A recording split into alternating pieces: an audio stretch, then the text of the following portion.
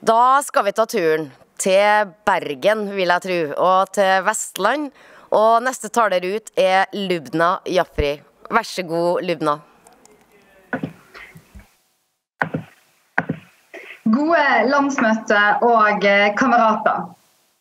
Min lillebror Jon, som døde i fjor høst, døyvet sin smerte gjennom flere år ved å bruke narkotiske stoffer. I mine øyne var han ingen kriminell, men i lovens øyne var han i perioder av livet sitt nettopp det. Og det er dette rusreformen handler om, skriver Erik Otto Evenstad i et innlegg i Tromsø. Det er tusenvis her i landet som lever med rusavhengige søstre eller brødre.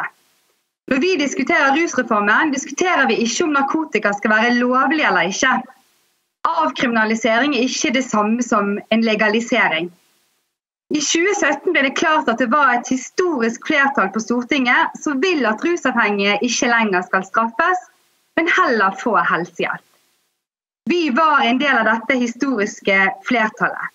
Og nå er tiden kommet for å fullføre jobben. Jobben som Tove Stoltenberg startet i 2000. Å være for rusreformen er ikke å si ja til narkotika. Det er å si nei til en straff som ikke virker. Å true med straff, bøter og stigma fungerer ikke. Ungdommene våre fortjener å bli sett, hørt og bli tatt på alvor. Derfor må vi utvikle og forbedre forslaget til rusreform, ikke skrote det. Det vil være uklokt og usosialt. Fordi straff rammer usosialt. Den rammer de som har det vanskeligst, i langt større grad enn andre.